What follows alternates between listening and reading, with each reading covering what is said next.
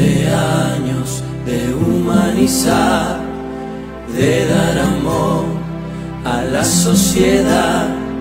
Son tantos sueños por alcanzar, un gran equipo que quiere ganar.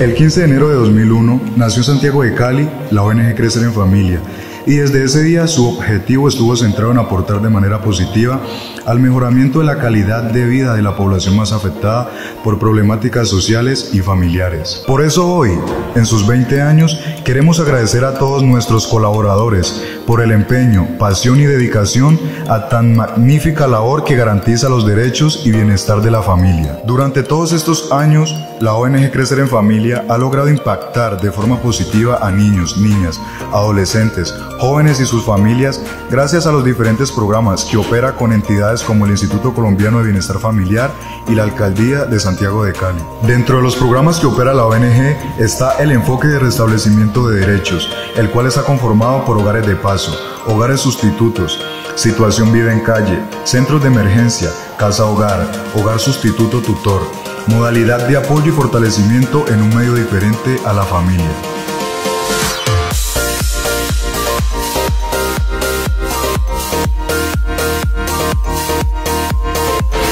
Dentro de su trayectoria, la organización se ha destacado por trabajar con programas del Sistema de Responsabilidad Penal para Adolescentes en los departamentos del Valle del Cauca y Norte de Santander, con sus centros de formación juvenil Valle del Lili, Buen Pastor, Los Patios, SIP Las Palmas, Libertad Vigilada, Transitorio El Trébol, Externado Cali Palmira y el Internado de Administración de Justicia Villa Paz. La ONG también ha desarrollado proyectos enfocados a la recreación y deporte, como los clubes juveniles, juegos intercorregimientos y proyectos al mejoramiento de la calidad de vida del grupo de la tercera edad.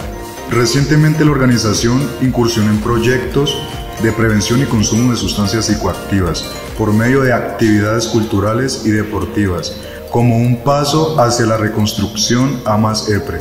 Y durante todos estos años se han ejecutado proyectos con la Secretaría de Deporte, Cultura y Gobierno.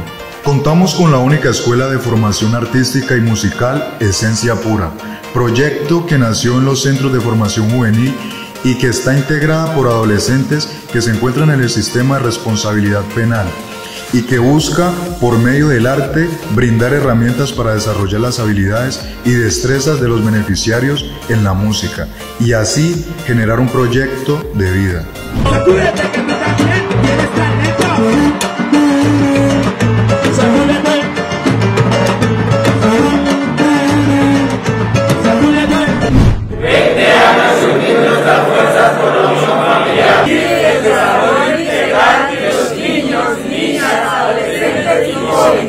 Pues son ellos nuestra prioridad y el futuro de la sociedad.